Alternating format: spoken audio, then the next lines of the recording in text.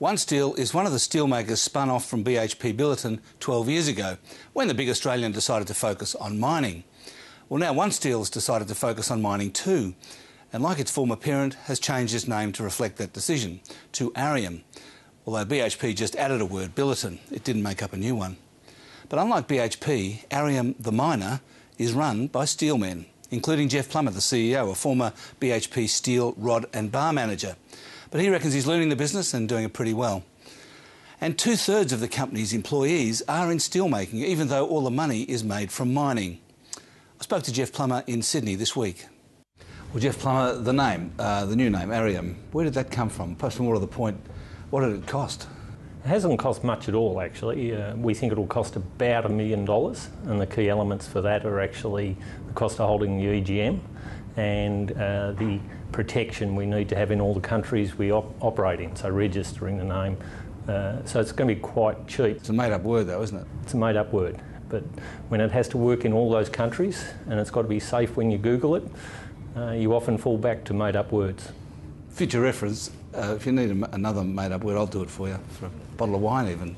It won't cost much. Well, we had a bottle of wine going if somebody could get a better name, but nobody won it. Of course, the name change is fair because um, I saw an analyst report the other day that said that the steel business within OneSteel uh, is not worth anything, and the uh, mining business is 80% of the value, and the mining consumables 20% of the value. Does that seem reasonable? I think the point out of that is that it reflects how much the company's changed, and many in the marketplace didn't understand the extent to which the company had changed. Often, when people change their name, it's aspirational, um, but in the last four years, we've moved from not really being in the iron ore business to being a six million tonne player. Um, middle of next year, we'll be at a rate of 11 million tonnes of iron ore, so that makes us quite significant outside the big three. Uh, and we're the world's largest in grinding media, so a significant mining consumables business. So this time uh, next year, our asset base will be nearly 50% in uh, either iron ore or mining consumables.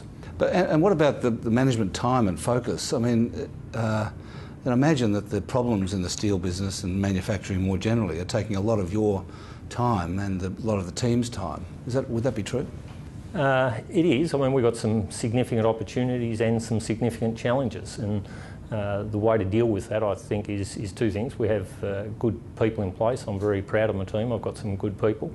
And it's clear what they're focused on. So the people who are in the steel space have got a clear set of objectives, and you know that's turning the business round, uh, making sure they generate cash and and can contribute to the organisation that way. I suppose the question is, can they do that? I mean, is it, is it a realistic ob- objective given the conditions in Australia, the currency where it is?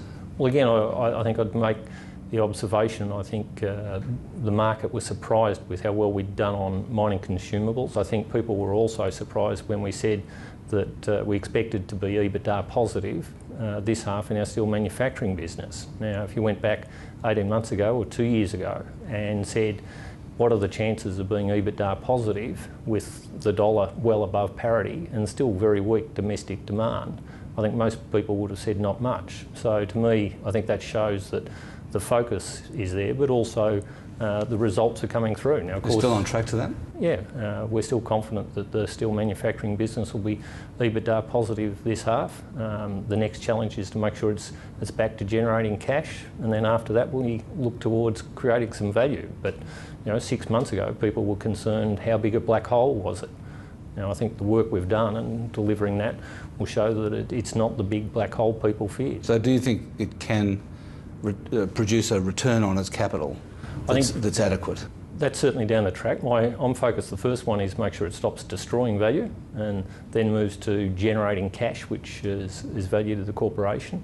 And then we've got to make sure it can cover the cost of capital. So we've got a clear hierarchy of objectives. Uh, I like to tick them off one at a time. Sounds like you think that the steel division, the steel business, will still be part of OneSteel or Arrium in five years' time. Well, I think if you look over the last 10 years, um, the steel business has had uh, times where its profitability has waxed and waned. I, I, guess there's been some okay times and some poor times, but it's been a, a great cash generator. You know, the the uh, investment in iron ore initially was paid for by the cash that came from the steel businesses, and that was all self-funded. And uh, you know, I think as a uh, cash provider, a cash generator. I'm certainly not looking to uh, grow into the steel space. It can be a, a, good contributor to our, our portfolio and create value for our shareholders. You're on the manufacturing task force, which is still meeting. Um, uh, uh what are you concluding out of that, that the future of manufacturing in Australia is? I think there's, there's a couple of things. I think to uh, give the government some credit, it's clear that they've recognised it's a significant uh, issue and problem. Uh, the meetings so far, you've certainly had um, good representation from senior members of, of cabinet, and you know they've clearly put some time into to thinking about it. So that's a start. The fact that it's clearly recognised as a, as a significant issue. Um, you know, I think we'll we'll see that there's some disparity because it's manufacturing is a broad um, area of activity, but there's also some common themes, you know, and I think the common themes are what do we need to do in terms of productivity in the broader sense. So, uh, not just labour productivity, but asset productivity, the regulatory environment impact on on productivity, but also what can we do in the shorter term for things like stimulating demand. Thanks for joining us, Geoff Plummer. Thank you for the time.